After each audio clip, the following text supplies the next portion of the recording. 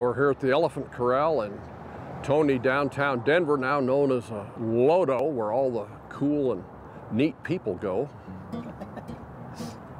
But it wasn't like that in the 1850s when the Elephant Corral was Denver's first stockyards.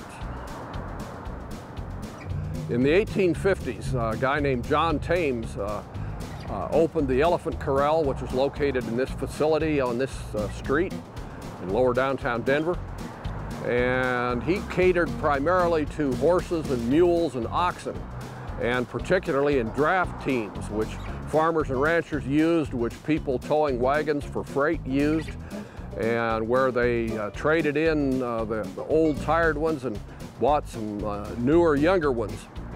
And Thames handled cattle primarily as a sideline.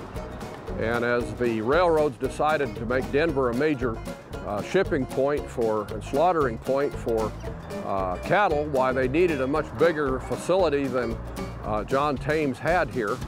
And in addition to the fact, since the railroads were the ones doing it, they wanted it out on the main line of the railroad and not in downtown Denver.